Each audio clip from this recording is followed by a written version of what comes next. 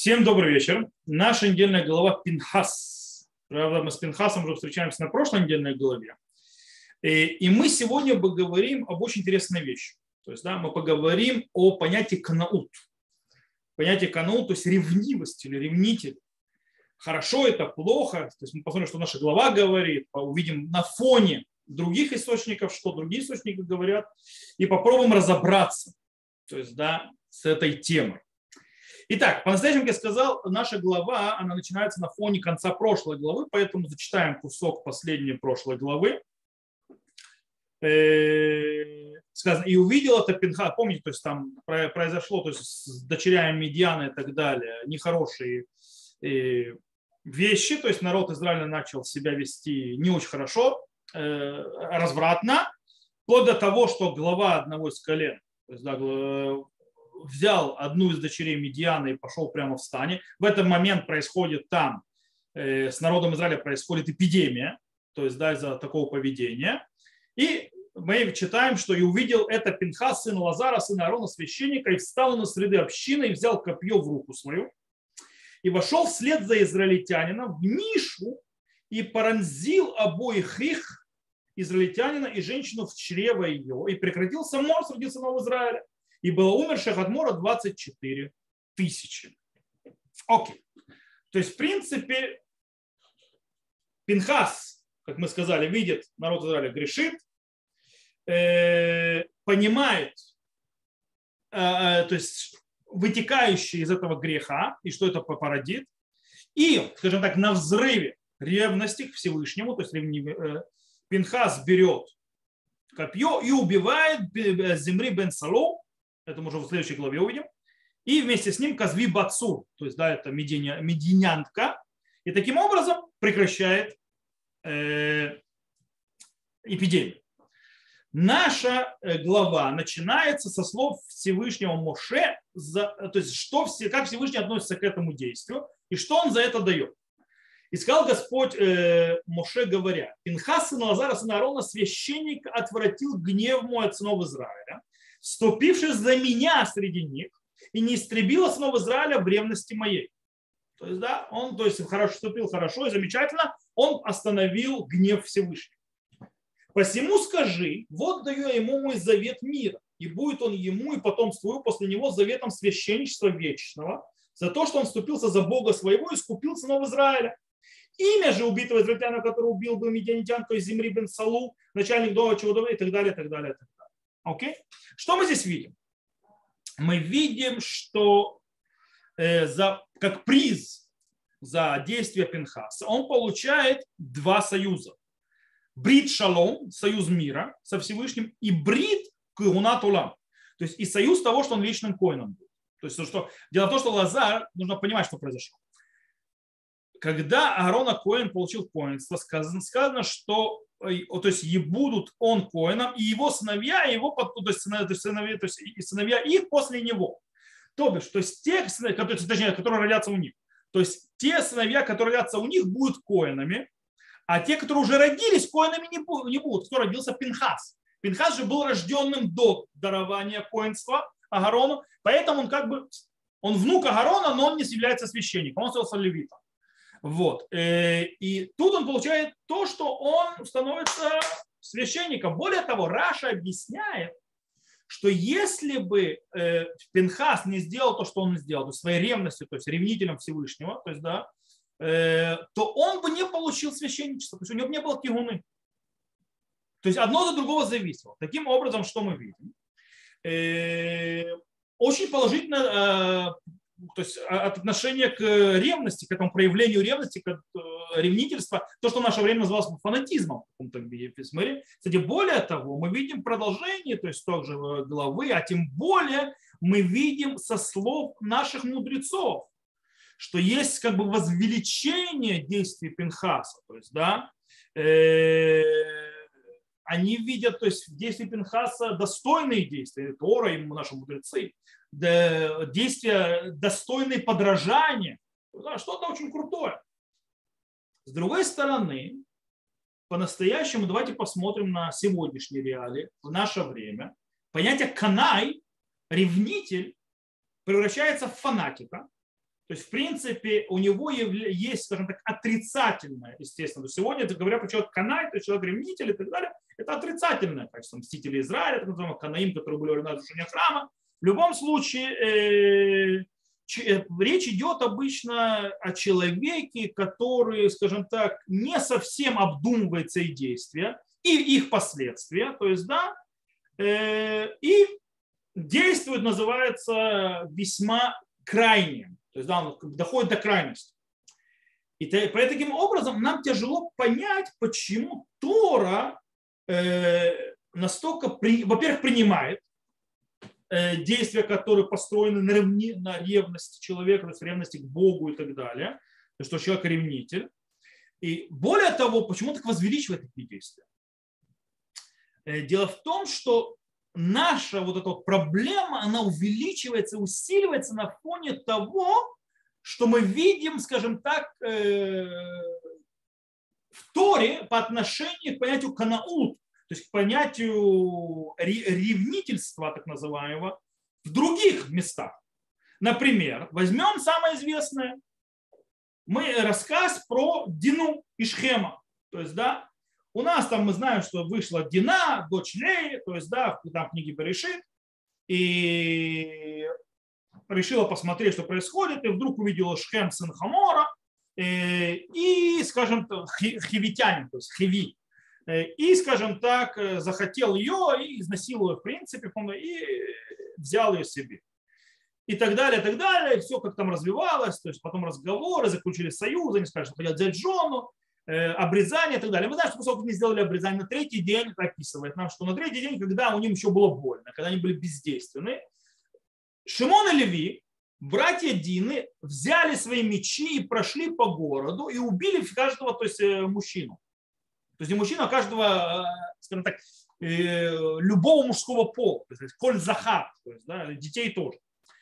Э, убили также Шхема, его папу убили и так далее, и так далее, забрали Дину, и, и, и, ну и разорили город. И когда Яков э, говорит этим сыновьям, то есть, да, что он говорит? Он говорит, Ахарте отиля вишени бешвей хаарец экнанию фезива ними матей миспар венесфу алави и кюним нишмидадет и они в бити вомер акизуна ясе это хотейм.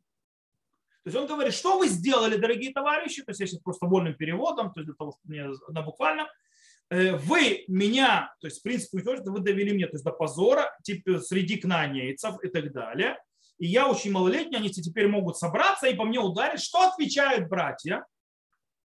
Здрасте. Мы, наша сестра, как, то есть как э, распутница, что ли, то есть, да, мы то есть, э, ревностью наполнились ревнительством по отношению к тому, что сделал нашей сестрой. Мы не готовы это терпеть. Мы за это отомстим. Мы это прекратим. Э, то есть, в принципе, они делают твое действие как месть, Шхему, который ничего не, то есть э, Шхему, который сам сделал ту проблему, э, жителям Шхема, которые промолчали, ничего не сделали. Но, в принципе, ради того, чтобы спасти Дину и как бы не дать ей стать, то есть, скажем, такой вот блудницей в глазах других. Реакция Якова по этому поводу весьма яростная, скажем так. сказать. Более того, Яков не забыл это. Яков не забыл аж до дня своей смерти. То есть перед смертью, когда он их благословляет, мы читаем, что Шимон Велеви, то есть давайте я вам открою сейчас э, книгу, книгу Баришит, э, в конце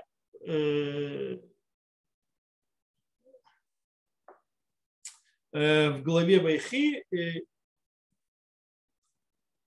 я сейчас прочту, то есть что он, когда он благословляет сыновей, что он говорит, смотрите. Шимон и Леви, братья, орудия хищничества свойственны им. И в совет их да не войдут, душа моя, с сонным их не единись часть моя, ибо они в гневе своем убили мужей и по, по их воле подрезали жилы вала. Это что он Юсефа им вспоминает. В любом случае, что мы видим? То есть, да, э, что дальше он говорит? Софи, э, проклят гнев их, ибо силен и ярость их, ибо тяжела, разделю их в Яакове и рассею в Израиле. То есть Яков, то есть действие, то есть Шимона и Леви, их קנאות, их ревнительство и так далее, она, несмотря на все хорошие намерения, спасти Дину, отомстить за Дину и так далее. Яков это не принял. То есть это в глазах его было плохо. Теперь, э, когда глава Пинхас попадает до 17-го Тамуза, мы читаем Афтору. Афтору про Эльяу. И там тоже мы читаем про קנאות. Тоже мы читаем про э, то, что Илья у себя э, повел, скажем так, весьма ревнительно, то есть ревность у него. И мы видим, э, о чем идет речь. То есть, да, давайте, то есть, э, скажем так, что фо, является фоном нашей авторы. Э, народ Израиля преклоняется идолам, времена Хаза и так далее. Э, Яков устраивает чудо на горе Кармель э, с этими с пророками Баала, так называемые. Э, и они там пытаются принести жертву, как бы, чтобы Бог взял ее сам, то есть молиться и так далее, ничего не происходит. Он делает, тут узнает этот рассказ, кладет жертву, огонь сходит, жирает и все так далее. И, в принципе, таким образом возвращает народ Израиля к раскаянию, они кричат Ашему Илоким, то есть Господь он Бог и так далее. После этого Илья убивает 400 пророков Баала, служителей Баала, и, в принципе, э, наш глава, то есть я сейчас открою, это книга Млахим, э, первая книга Млахим, э, 19 глава, то есть начинается с того, что Ильяу приходит, наш автора, в пещеру. И там, смотрите, давайте прочитаем, что происходит. Это начиная с 9 стиха, в 19 главе первой книги царей. И вошел он там в пещеру, ночевал в ней, и вот слово Господне было к нему, сказал он ему, что тебе нужно здесь, Ильяу? И сказал он, весьма возревновал я о Господе Цеваоте, потому что оставили завет твой сыны Израиля, жертвенники твои разрушили, пророков твоих убили мечом, и остался я один. И моей души искали они, чтобы отнять ее. И сказал, то есть Господь, выйди и стань горе перед Господом. И вот Господь проходит, и большой сильный ветер, кстати, это гора Синай, то, что где-то происходит. И большой сильный ветер, раздирающий горы, сокрушительные скалы перед Господом, не ветре Господь, После ветра землетрясения не в землетрясении Господь. И после землетрясения огонь не в огне Господь, и после огня голос тонкой тишины. Коль мамадака. Э, и, э, и было, когда услышал это Илья, покрыл он лицо свое плащом своим и вышел, стал у входа в пещеру. Вот голос к нему и сказал, что тебе нужно здесь, Ильяу? И сказал он, весьма возревновал я о Господе Боге Цаваот. То есть он повторяет, то есть он возревновал. Потому что оставили завет твой сын Израиль, жертвенники твои разрушили, пророков твоих убили мечом, и остался я один, но и души, и моей души искали они, чтобы отнять ее. Окей. Ильяу приходит ко Всевышнему с критикой к народу Израиля. Окей? Ильяу очень злится на народу Израиля, как народ Израиля относится ко Всевышнему. Э, и э, он, э, то есть, в принципе, определяет себя, Ильяу, что он последний преданный Всевышнему, то есть служитель. То есть его народ Израиля, только он предан Всевышнему, больше никто. Всевышний не принимает слова Илья, он выталкивает его, то, что называется, отправляется его на гору. То есть он выходит на гору, и там он не сдается, и снова продолжает Илья, высказывает свое веское фе по отношению к поведению народа Израиля. Причем повторяет, что он ревнитель, что он ревнует так, как бы народ Израиля относится к Всевышнему, плохо. Э,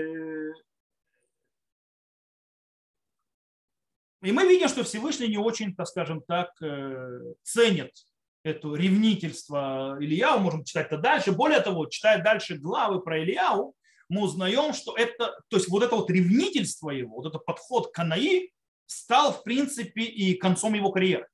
То есть это стало причиной окончания его карьеры, когда Всевышний сказал ему выбрать кого-то другого и забрал его живым, потому что, дорогой, ты не можешь здесь, не можешь себя так вести с народом. Это нереально. То есть что мы видим, что и здесь, и про Ильягу, то есть Всевышний относится отрицательно к, рем, к, к ремнительному подходу. Окей. Теперь, если мы смотрим на это, про Шамона и Леви, с Яковом, про Ильяу, у нас наш вопрос становится еще серьезнее. То есть, да, почему Пинхас появляет, получает такое хорошее отношение? Почему Пинхас мало уж хороший, так его еще и возвеличивают? Э, то есть вопрос, когда Тора принимает канаут, то есть э, ревнительство, и когда она его отрицает и считает его плохой вещью. Как это работает? То есть, да, Тем более вещь, то есть то, что мы говорим, еще более усиливается на фоне того, что говорит Мидраш Раба на нашу главу Пинхас, который говорит Амара Боху бадин гующий толь схаро, то есть по закону ему полагается плата, так говорит Мидраш. То есть еще намного мощнее. Давайте разберемся. Окей, вопрос понятен, мы подняли, подняли доказательства, теперь давайте разберемся. Для того, чтобы нам ответить на этот вопрос, э, хорошо ответить, то есть, да, нам нужно хорошо посмотреть в действия Пинхаса и, в, и особенно на грех, который он остановил.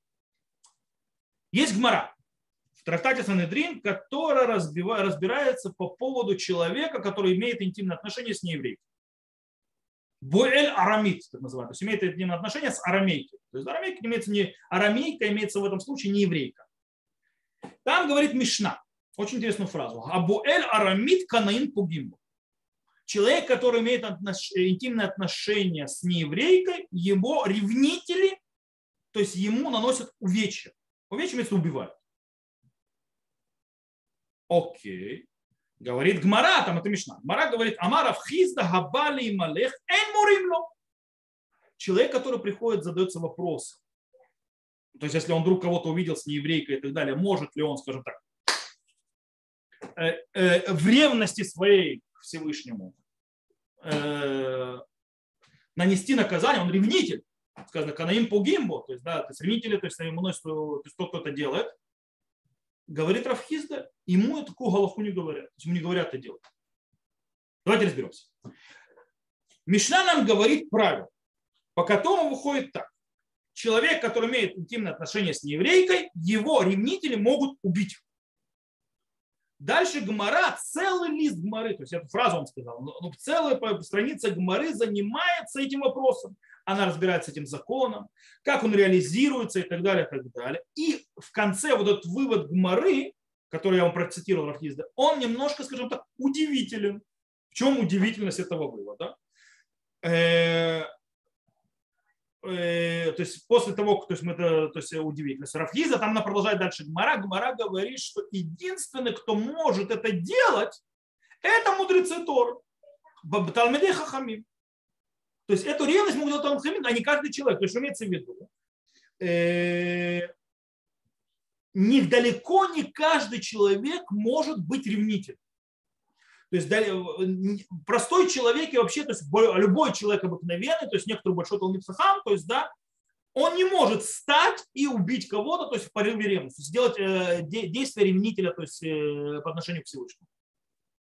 Интересная вещь, есть еще одна похожая вещь с похожим законом, где Тора говорит, то есть Мара говорит, Талмуд говорит, что этот закон нельзя распространять и рассказывать, то есть, скажем так, э, всем. То есть он должен быть, скажем так, э, закон, э, который не рассказывает. То есть он есть, но это не рассказывает другим. Говорит, галаха вен. То есть, да, то есть галаха так не делает. Это в Маре Тратате Шаба. Мара говорит, там гадбик пад бетанур вейтиролу до то кодом шавили да Иисус. То есть кто-то, э, есть печка, он прикрепил тесто для того, чтобы оно приготовилось. Это тесто приготовится в шаббат. И таким образом человек нарушит запрет Торы, и ему будет скила. Говорит Гагмара, что, то есть закон говорит, что можно другому человеку снять это, то есть до, то есть до того, как этот хлеб выпечется, то есть когда происходит запрет, он может его вытащить в шаббат, чтобы не дать ему допечься и не довести другого до запрета, который уже запрет Торы. То есть получается, что Мара говорит? Мура говорит, что человек, она вообще занимается вопросом очень важным. Может ли человек нарушать, за, э, нарушать что-то для того, чтобы спасти другого от греха? Дело в том, что в шаббат э, Э, то есть тесто, которое еще не, начало, не допеклось, вытащить из печи, чтобы оно не допеклось до конца, это запрет мудрецов. С другой стороны, э, если тесто допечется, и тот, кто положил это тесто, а, а, он нарушит запрет Тор. И этот вопрос, можно ли вытащить, то есть может ли человек сделать, то, что называется, это право называется э, Э, э, оно называется хта, кидающий с кехавеха. То есть, да, согреши, чтобы то есть, твой э, ближний, то есть, называется, от этого выиграл. То есть, чтобы твой ближний то есть, не, э, не стал нарушителем. И есть, э, естественно, то есть, места, которые то есть, про, противоречат этому закону и так далее. Но есть очень интересная вещь. То есть, получается, есть места, которые говорят, это нельзя делать, здесь говорится, что можно делать и так далее. Так вот, мудрецы первых поколений дают очень интересный ответ. Они говорят, то есть, скажем так, не только интересно, но креативно. Они по-настоящему нет спора. То есть, да, по всем мнениям можно сказать, то есть спасти человека, согрешив, но это запрещено, эту Галаху рассказывать людям. То есть рассказывать ее всем. Окей, что имеется в виду?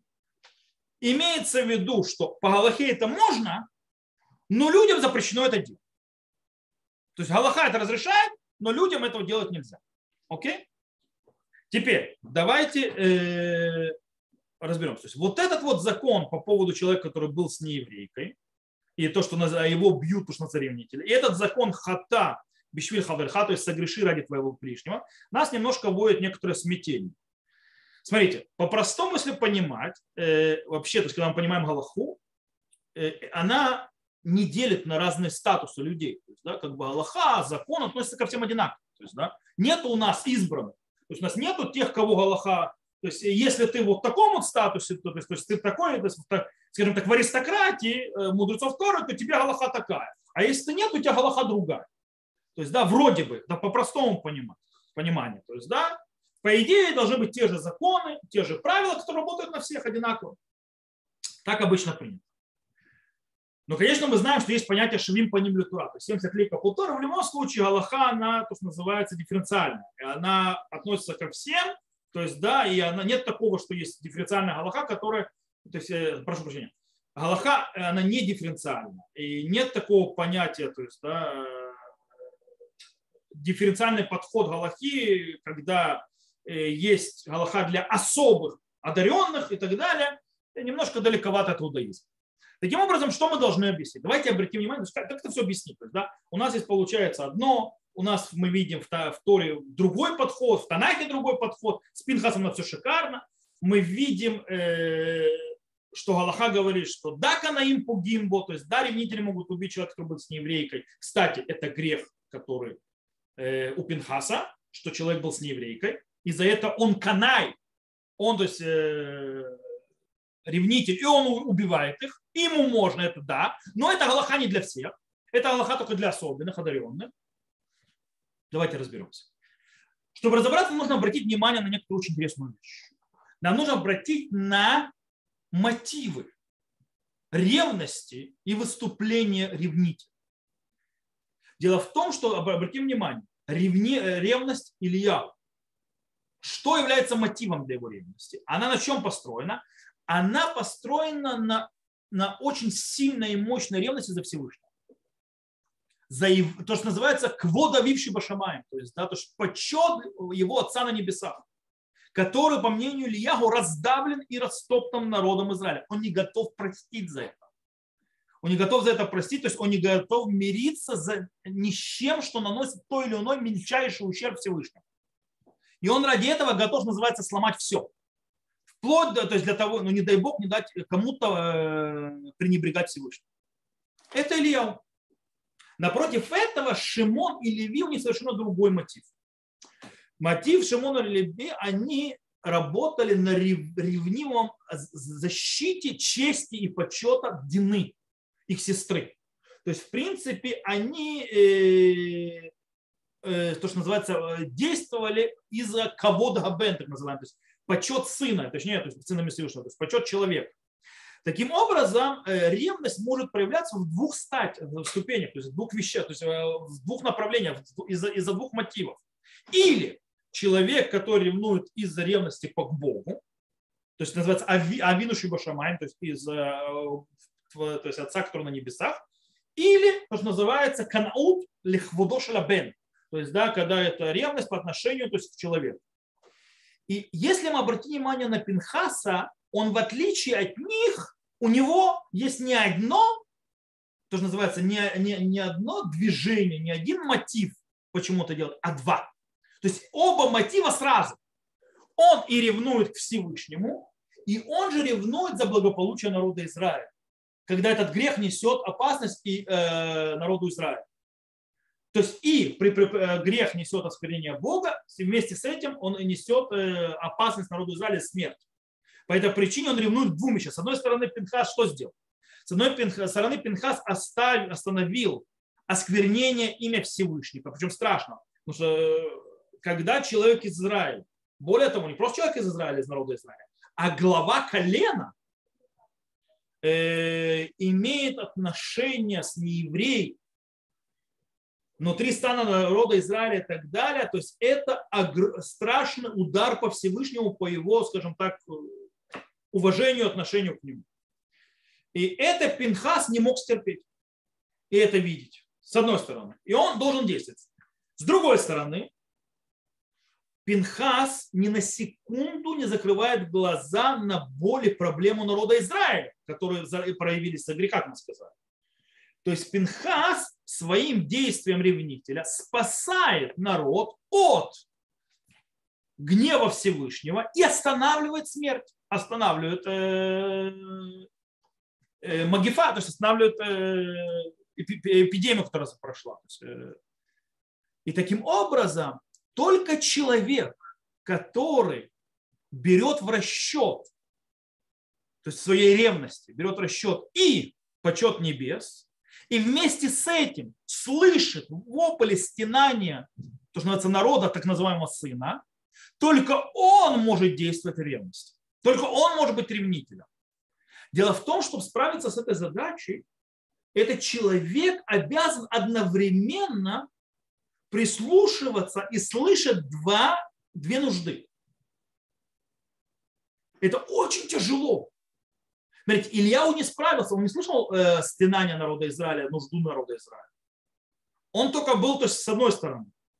Шимон и Леви наоборот, то есть всю нравственную вещь, отношения между э, то, что обещание Якову и так далее, тоже как-то мимо пропустили. И, э, Пинхас смог соединить две вещи вместе. Он смог две вещи вместе соединить, то есть в принципе таким образом э, он смог действовать по-настоящему продуманно. Дело в том, что далеко не каждый человек может продумать всю систему, э, то есть взвешивания, то есть всю систему, которую нужно взвесить. И есть опасность, что беря все за и все против, он склонится только в одну из сторон и не, и не возьмет все это вместе, то, что называется, со всей диалектикой, которая в этом есть. Только человек, который может четко мыслить, четко разобрать ситуацию на, на, на базисе, то есть, да, может получить исключение из Галахи. То есть, таким образом, только человек, который может, скажем так, э, требовать, то есть лицок заката шаббат, то есть да, кричать, то есть э, чувствовать то есть боль за шаббат, с одной стороны, и вместе с этим болеть за э, его ближнего, который нарушит шаббат, который то есть, э, попадет под наказание, он имеет право согрешить для того, чтобы спасти другого. Он может вытащить это, то, что сказано, то есть только вот такой человек, не каждый это может сделать. Только тот, кто может страдать за осквернение шаббата своего, он может то есть, э, и вместо этим то есть, страдать за а, нарушение шаббата своим ближним, может это сделать. Человек, которому не так уж хорошо, э, то есть важно э, нарушение шаббата и так далее, делать этого не может. Потому что у него одна из систем ценностей не работает, она отключена. То же самое, то есть, да, э, и про действиям по отношению к нееврейке. То есть, да, почему только мудрецы, то есть канаим. То есть почему только им, с одной стороны, это можно, этому нельзя.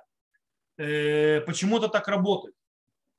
Э, это тоже построено на той же самой системе, что человек э, видит все за и против. Он и переживает за человека, он и переживает за Всевышнего.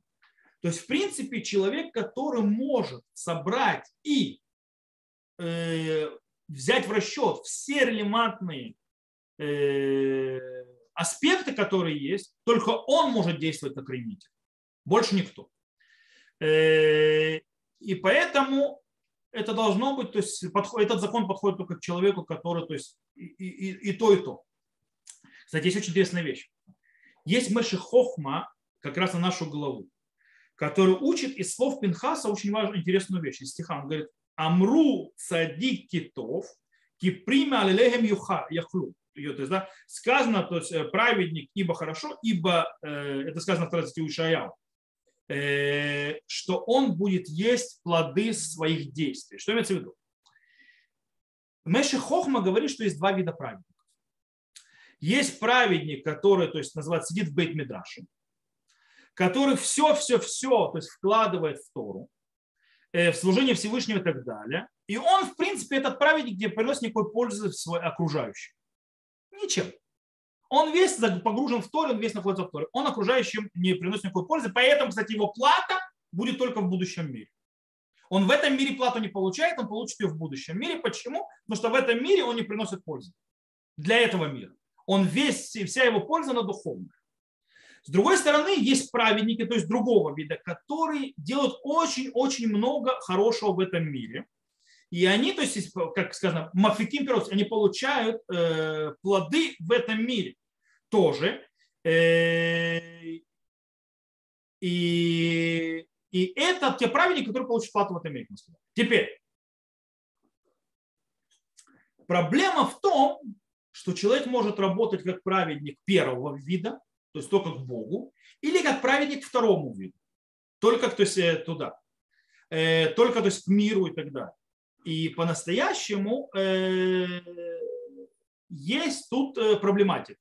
Первый праведник, человек, который занимается только духовным и так далее, переживает только за Всевышнего, он э, может очень часто не замечать проблемы людей. И поэтому нужно по-настоящему каким быть. Нужно быть как первый праведник, то есть тот, который человек погружен в Тору и так далее, занимается духовным миром, но вместе с этим ни в коем случае не пренебрегать и не избегать быть вторым видом праведников, которые полностью переживают за людей, помогают людям делать хорошие вещи в этом мире. И в принципе, это, кстати, это то, что учил меня мой учитель, наш учитель Мурей Барабира Муниталь Нужно быть в бейт Мидраше, учиться то есть, э, Тору и так далее, но вместе с этим слышать то, что называется коль кинока бухе, слышать плач ребенка. И он говорил, что приводил, то есть это рассказ про Балятанию, кстати, то есть, да, это не знает рассказ, то есть Балатания э, был определенный момент, когда они были в одном доме, то есть Адмор Закен, его сын Адмор Хаймцей и его, то есть уже внук, который был ребенком, то есть и они, э, то есть Адмор Закен учился в одной комнате, его сын Адмор Хаймцей учился в другой комнате, то есть он еще не Адмор Хаймцей, он потом будет Адмор Хаймцей, и ребенок спал в третьей комнате. И он плакал, ребенок начал плакать,